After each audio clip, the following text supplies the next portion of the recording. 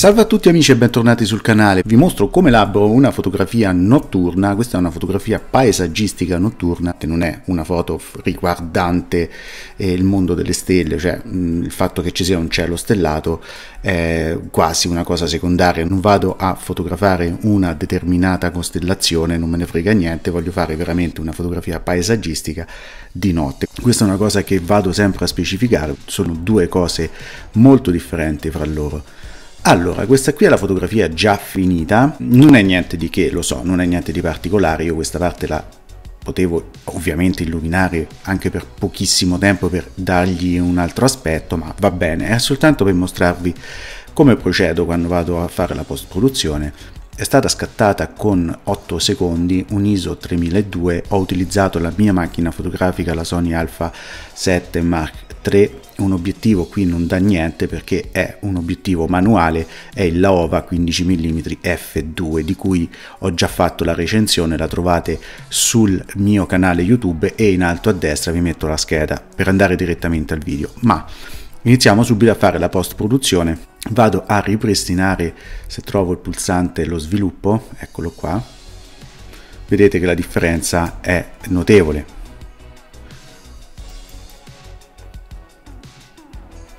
così esce dalla macchina fotografica. Se volete vi faccio anche un video come imposto la macchina fotografica quando vado a fare questo genere di uscite perché ha alcuni aspetti un po' più pratici che tecnici perché bisogna veramente riuscire a fare le fotografie bene senza rischiare di danneggiare niente e iniziamo subito. Ok, come prima cosa vado a abbassare il contrasto, guardate quanti dettagli compaiono soltanto abbassando il contrasto, qua specialmente qui dove è buio il contrasto lo tolgo quasi completamente e provo anche a abbassare un pochino le luci come se fosse una fotografia diurna ma come vedete un po' le luci ci servono. Qui mi trovo al lago di Bolsena, quindi ci sono i paesi intorno al lago, non è possibile trovare un punto dove c'è poca luce, dove c'è poco inquinamento, proprio non è possibile, quindi bisogna accontentarsi e cercare di trovare un posto, un punto dove non ce ne sia troppo, anche se è quasi impossibile.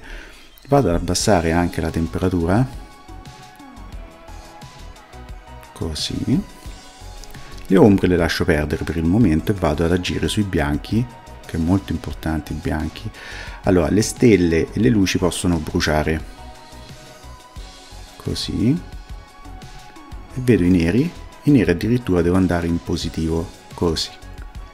Bello eh? Perdere la chiarezza le alzo un pochino mai superare i 30 però.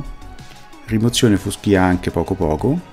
La vividezza le alzo un pochino e la saturazione, volendo anche, ma occhio alla saturazione perché in genere fa i danni. Arrivo alla curva di viraggio, cerco di creare sempre una S, abbassando un altro pochino i scuri e alzando un pochino i chiari, così.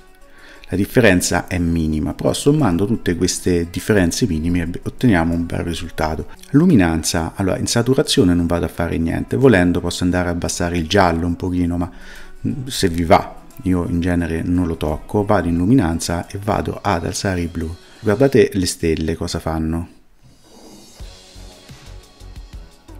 Alzando la luminanza del blu le stelle scappano molto fuori, insomma sono molto più visibili. A volte utilizzando anche l'acqua marina, anche se l'effetto è molto più basso, quindi non lo utilizzo più di tanto. Con le luci potrete giocare un pochino con i colori, ma occhio anche qui, arriviamo alla nitidezza. La nitidezza aumento sempre verso una novantina, però abbasso il raggio a 0,6. Anche i dettagli un pochino li calo in genere sui 15. Poi per fare in modo che il rumore non sia così alto, perché aumentando la nitidezza noi eh, aumentiamo la nitidezza anche del rumore, quindi vado a mascherare quello che ho fatto tenendo il pulsante Alt, spostando la barra verso destra Così facendo il bianco, tutto quello che è il bianco, in questo caso il contorno degli oggetti, aumenta di nitidezza, è proprio quello che vogliamo. Riduzione del disturbo al momento no. Vado ad attivare il rimuove aberrazioni cromatiche, mentre l'attiva correzione profilo non lo vado ad attivare perché la lente non è presente nella lista, altrimenti ci proverei. Vignettatura lascio perdere anche perché già c'è abbastanza la vignettatura. Arrivato alla calibrazione vado un pochino ad abbassare il blu e il rosso lo porto anche un pochino verso sinistra così.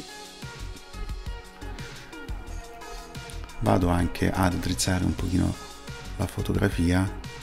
Non tengo conto la linea d'acqua perché è un lago quindi. Ok ora volendo potete anche provare ad alzare le ombre ma poco poco perché come alzate le ombre create rumore e la fotografia è pronta guardiamo prima il dopo utilizzo il pulsante ripristina Perfetto, è benissimo. Vi ricordo che sul mio canale ci sono già tanti video riguardanti Lightroom, iscrivetevi al canale poi per non perdere i prossimi video riguardanti questa materia. Vi ringrazio per la visione, a presto e ciao!